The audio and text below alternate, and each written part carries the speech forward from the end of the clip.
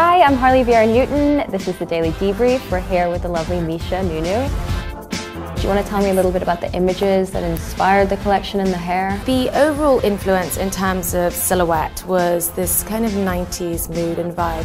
There's just a real strength in the oversized details that you see within the collection and then the clean silhouette. So kind of this tension and juxtaposition between the two. And with the hair specifically, it was this picture of Kate Moss from the 90s and she looks so young and fresh-faced and beautiful. And it was just this kind of deep side part and there was a softness to the way that it was done and it has a wave to it there was something about it that didn't feel overly done or fussy. And I think that Tresemme, you know, the lead stylist, really, he, he nailed it in actually creating it. I never really want to do a hairdo that feels like my girl wouldn't wear it or couldn't do it herself.